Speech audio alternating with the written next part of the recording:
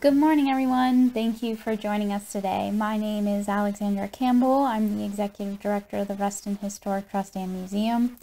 And today we're launching a new series, Museum from Home, where each Monday morning we'll be posting videos. You'll be seeing artifacts from our collection and going on virtual tours. If you would like to leave us a comment about what you would like to see in the upcoming weeks, please do so, and let's get started. Today we're going to be talking about this beautiful painting. This is a fairly new acquisition for us. It was donated to the museum last year. It is a painting of Reston Avenue and was created by Bertie Poston in 1925. So who was Bertie Poston? Roberta May Poston, known as Bertie, was born March 16, 1895. She was born when the area we call Reston was called Wiehle. If you didn't know already, that's how the street in Metro got its name.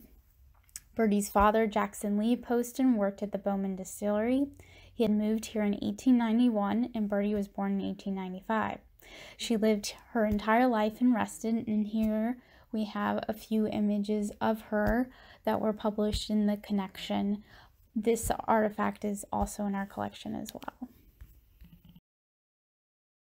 Bertie attended several schools throughout her life. The first school she attended was a one-room schoolhouse in Wiehle. At 16, she went to the Herndon Seminary School, which was a private school for girls where she studied piano. Playing piano would turn into a lifelong passion. She would later play piano at her church. She did not attend Herndon High School, but she taught herself to type and got a position working in a general's office downtown in Washington, D.C. She would work downtown until she retired at the age of 69 in 1964, when the first residents of Reston were moving in.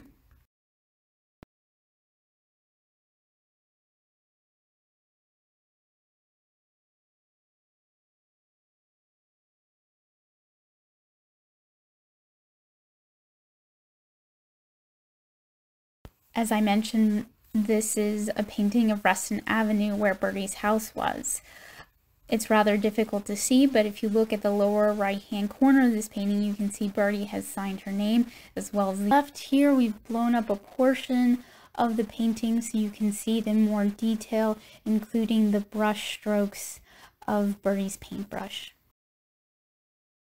We hope you enjoyed today's artifact highlight. Please check out our website, restonmuseum.org, to browse the rest of our collection, view our past publications and programs, and much, much more. Please also consider making a donation at restonmuseum.org slash donation to support our mission of preserving and sharing Reston's history. Again, please let us know what you would like to see in the upcoming weeks and join us next Monday for new content.